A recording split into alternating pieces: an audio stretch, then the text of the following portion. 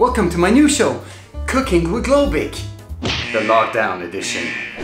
So since we're in a full lockdown here in Saigon, Vietnam, and that restaurants and delivery services are not allowed to run, and that we're only allowed to buy our food at selected limited stores only during certain time slots, I think it's very important that we learn how to ration so that we can eat properly without running out of food in a few days. So today, I'm gonna show you how to make the bestest Tiniest. sandwich in the world. Okay, maybe not the bestest, but it's a pretty good tiny sandwich. All right, let's get cooking. Let's first start with the ingredients. You're gonna need one egg, one tomato, some bacon, a little bit of lettuce, a tiny loaf of sliced bread, some salt and pepper, and finally some condiments like mayo, mustard, and or some other sauces of your choice. Now let's get cooking!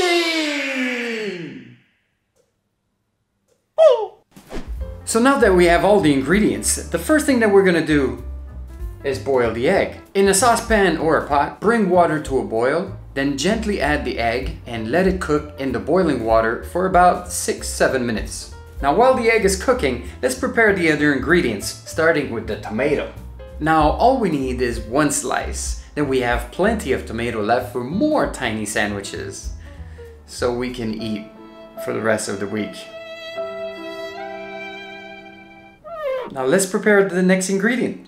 Now once your egg is ready, dump it in a bowl of cold water to accelerate the cooling process. Then you need one or two small leaves of lettuce.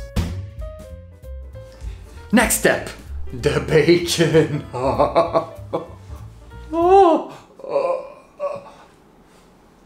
the bacon.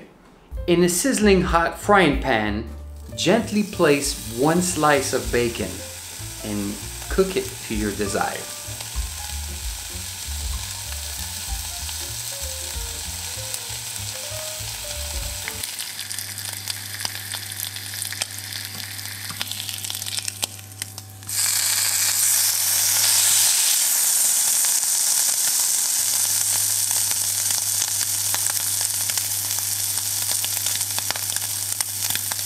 Now while all this sexiness is happening in the pan, let's peel our egg and cut one medium thick slice of this hard boiled beauty. Once your bacon is ready, remove the excess fat from the frying pan and gently place two tiny slices of bread and flip them a few times until both sides are nice and golden. Or just use a toaster like normal people. Now that all the ingredients are ready, it's assembling time! First, let's spread some mustard on one of the two slices of bread. Then, let's spread some mayo on the other slice. I'm using some whole grain Dijon mustard here, but feel free to use some mustard that's born in the USA if that's what you prefer. Then you can pretty much stack up the rest of the ingredients in the order that you prefer, but here's how I do it. First, I lay my slice of bacon, then my slice of tomato, then my slice of egg, sprinkle a little bit of salt and pepper, my two tiny pieces of lettuce, and finally I top it off with, of course, the second slice of bread. Place that beautiful tiny sandwich in a small plate and cut it in half for a lovely presentation.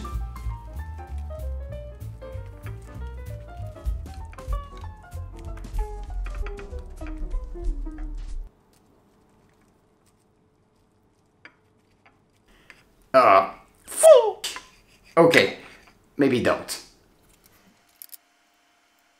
And voila!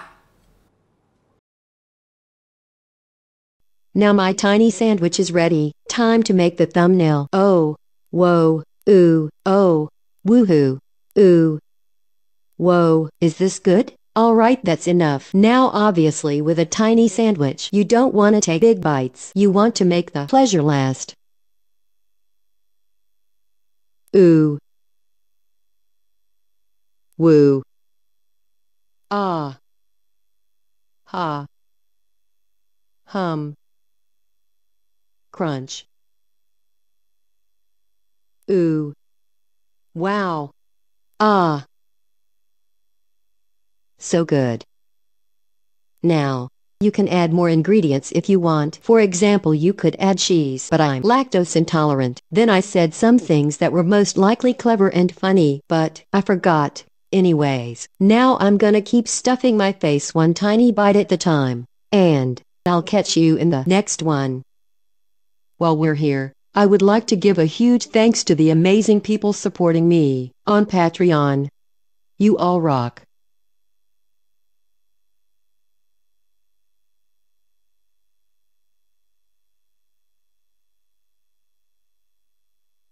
Crunch.